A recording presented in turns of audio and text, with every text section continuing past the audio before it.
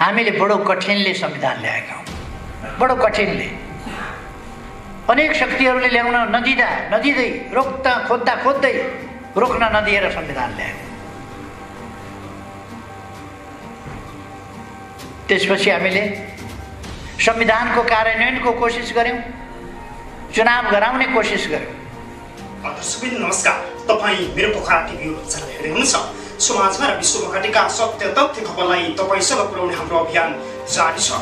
तपाईँले मेरो Pokhara TV YouTube च्यानललाई सब्सक्राइब गर्नुभएको छैन भने आज नै सब्सक्राइब गरी नजिकैको बेल आइकन दबाई हामीसँग जोडिनुहोला पल पलको ताजा खबर तपाईँलाई अपडेट गराउने हाम्रो अभियान निरन्तर रहिरहनेछ। प्रधानमन्त्री केपी शर्मा ओलीले फागुन चौबिस गतेसम्म सांसदको अधिवेशन बोलाइसक्नुपर्ने अवस्थामा बाध्यात्मक अवस्था रहेको बताएका छन्। अदालतले त्यसका लागि परामदेश जारी गरेको आकलन गर्दै सांसद अधिवेशन टार्न नसक्ने बताइएको छ। प्रधानमन्त्री ओलीले राजीनामा नदिने र सांसद फेस गर्ने बताइसकेका छन्। तर सांसद अधिवेशनहरू सुरु हुनु अघि अध्यादेश ल्याएर आफ्नो नेतृत्व नयाँ दल गठन गर्ने वा नेकपा अध्यक्षकै रूपमा सांसदमा उपस्थित हुने त्यसको अन्तिम टुङ्गो लगाउन बाँकी नै रहेको बताइएको छ। प्रधानमन्त्री केपी शर्मा ओलीले सांसद विघटन गरेपछि चुलिएका विवादहरू अन्त्य गर्ने निष्कर्षमा पुगेका छन्। ओलीले नयाँ दल गठन गरे भने मुलुकको राजनीति एउटा कोर्समा जान्छ। त्यसपछि सांसद तिनवटा ठुला पार्टी हुनेछन्। तीमध्ये दुई मिल्दा बहुमतको सरकार बन्नेछ प्रधानमन्त्रीले नयाँ पार्टी दर्ता गरेनन् र नेकपा नेताहरूकै रूपमा सांसद फेस गर्न चाहे भने त्यसपछि निर्णय गर्ने पालो प्रचण्ड नेपाल खेमका हुनेछ। त्यो बेला प्रचण्ड नेपाल खेमसँग तिनवटा विकल्प रहनेछन्। पहिला प्रधानमन्त्री ओलीसँग सम्झौता गरेर नेकपामा एकता कायम गर्ने दोस्रो उनलाई सांसदीय दलको नेताबाट हटाउने तेस्रो सांसदमा अविश्वास प्रस्ताव ल्याएर उनलाई प्रधानमन्त्रीबाट अपदस्थ गरी हटाउने। अहिले पहिलेको विकल्पमा जाने सम्भावना नरहेको दुवै पक्षका नेताहरूले बताएका छन्। दोस्रो विकल्पका कुरा गर्नु अघि तेस्रो विकल्पको कुरा गरौँ। आफ्नो दलको नेता तथा बहुमत प्राप्त प्रधानमन्त्रीलाई सांसदीय दलको नेताबाट नहटाई सांसदमा विपक्षीसँग मिलेर अविश्वासको प्रस्ताव मार्फत हटाउन खोज्नु राजनीतिक इनामका हिसाबले जायज हुन्न। त्यसैले सिधै तेस्रो विकल्पमा जान प्रचण्ड नेपाल समूहलाई नैतिक समस्या छ। त्यसबाहेक यसमा कानुनी जटिलता भने थपिन जानेछ। अविश्वास प्रस्ताव दर्ता गर्दा प्रधानमन्त्रीको नाम पेश गर्नुपर्नेछ।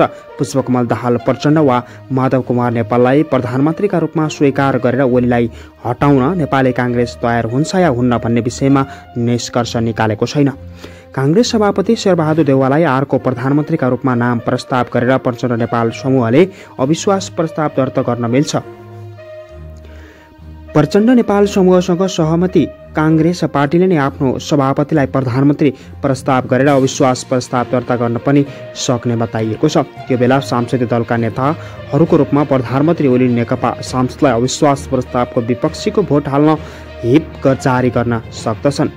हेप न नमान्ने सांसदको सांसद पद खोसिन सक्ने प्रावधान राजनीतिक दल सम्बन्धी कानुनमा रहेको छ तर त्यसको कारवाही केन्द्रीय कमिटीले गर्नुपर्छ। केन्द्रीय कमिटीका ओली पक्षका बहुमत नभएकाले सांसदहरूलाई कारवाही गर्न भने उनले सक्दैनन्। ओली पक्षका कतिपय नेताले यो प्रक्रियाबाट देउभा प्रधानमन्त्री नियुक्ति हुन नसक्ने तर्क गरेका छन्। नेकपा नफुटेको अवस्थामा प्रचण्ड नेपालको समर्थनमा देउवा संविधानको कुन आधार अनुसार प्रधानमन्त्री बन्छन् भन्ने उनीहरू प्रश्नमा खडा गरिरहेका छन्। संविधानको धारा सडसठीको एक अनुसार बहुमतको सरकार बन्छ र सडसठीको दुई अनुसार दुई या दुईभन्दा दलहरूको सरकार बन्छ। नेकपा नफुटी देउबा कसरी सडसठी अनुसार प्रधानमन्त्री बन्न सक्छन् भन्ने उनीहरूको भनाइरहेको छ। तर अविश्वासको प्रस्ताव दर्ता गर्दा प्रधानमन्त्रीका लागि प्रस्ताव व्यक्तिलाई राष्ट्रपतिले नियुक्ति गर्नुपर्ने स्पष्ट व्यवस्था धारा एक सयमा उल्लेख गरिएको छ। यसरी नियुक्ति भएका व्यक्तिले एक महिनाभित्र सांसदको विश्वासको मत लिनुपर्ने र प्रचण्ड नेपाल समूहको समर्थनमा देउवाले विश्वासको मत लिन सक्नेछन्। सांसद अधिवेशन मतबाट ओलीलाई बर्खास्त गर्नुभन्दा सांसदीय दलको नेताबाट हटाउनु प्रचण्ड नेपालका लागि छोटो र नैतिक बाटो हुने बताइएको छ। यसैले उनीहरू विकल्प खोज्ने बाटोतर्फ लागिरहेका छन्। के यो बाटो चुनौती रहित छ भन्ने विषयमा उनीहरूले ठोस निर्णय निकाल्न नसकेको र यसमा ठुलो राजनीतिक र केही मात्रामा विधानको चुनौती रहेको बताएका छन्। सांसदीय दलमा आजका दिनसम्म ओली र नेपाल पक्षबीच ठुलो सङ्ख्यामा अन्तर छैन। दुवै पक्षका आफ्ना दावी छन् तर प्रचण्ड नेपाल समूह ओलीभन्दा धेरै पाँचदेखि दसजना बढी सांसद छन् भन्ने अनुमान गरिएको छ। सांसदीय दलभित्रको प्रतिस्पर्धाले ओलीको भविष्य निर्धारण हुने भए पनि उनले बहुमत पुर्याउन भ्रमदर प्रयास गर्नेछन्। यो अवस्थामा नाम दाम सबै प्रयोग गरेर आफ्नो तानातानको खेलमा सत्ताको दोस्रोको मानिसहरू स्रोत र सामर्थ्य बढी लगाउने बताइएको छ। प्रधानमन्त्री ओलीले नचाहिकन ओली पक्षले संसदीय दलको बैठक नै बस्न नसक्ने तर्क गरेका छन्। संसदीय दलले बैठक दलका उपनेताले बोलाउने व्यवस्था विधानमा रहेको छ। नेकपा संसदीय दलका उपनेता सुभाष नेमाङ हुन्। उनलाई नबोलाई बसेको बैठक अवैधानिक हुने तर्क ओली पक्षको छ। यो राजनीतिक नभएर प्राविधिक तर्क हुन सक्छ।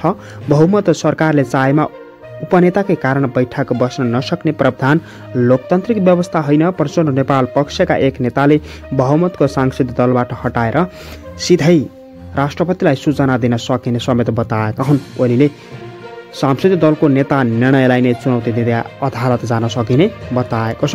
त्यसैले प्रधानमन्त्री ओलीको राजनीतिक भविष्य अदालतका हातमा पुर्याउँछन्।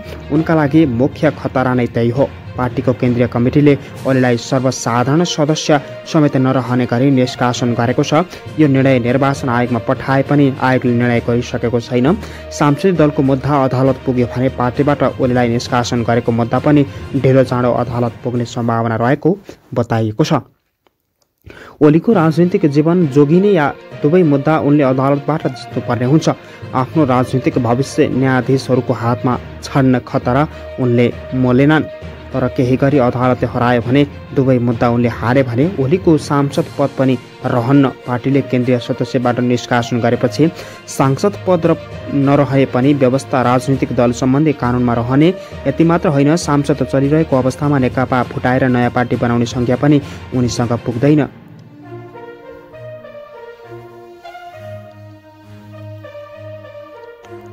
त्योभन्दा सुरक्षित बाटो सांसद चालु हुनुभन्दा पहिला नै राष्ट्रपतिबाट अध्यादेश जारी गराएर नयाँ पार्टी खोल्नु हो। तर यसो गर्दा उनले सूर्य चिन्ह र नेकपा छाड्नुपर्छ।